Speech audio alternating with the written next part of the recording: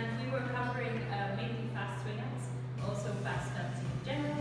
Um, we did a bit of footwork stuff for fast swing outs. Yeah, so we're focusing on getting this footwork and replacing the triple step with something we can do faster. So instead of going rock step,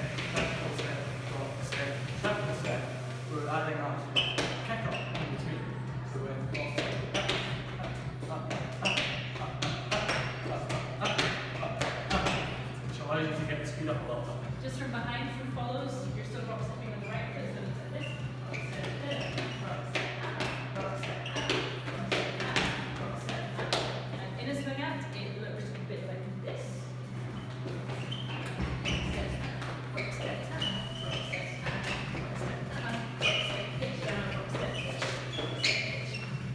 We talked about forward swing outs as well, so how to integrate forward swing out technique Yeah, so with the forward swing you're actually taking up less distance, so it allows you to cover more ground quickly.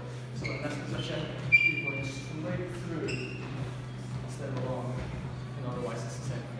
Um, you're the ones who are doing most of the moving here, but most of that is coming from the step step rather than from the hitch. Mainly we just hitch in place. Um, I think that was maybe it. it's Technique point, uh,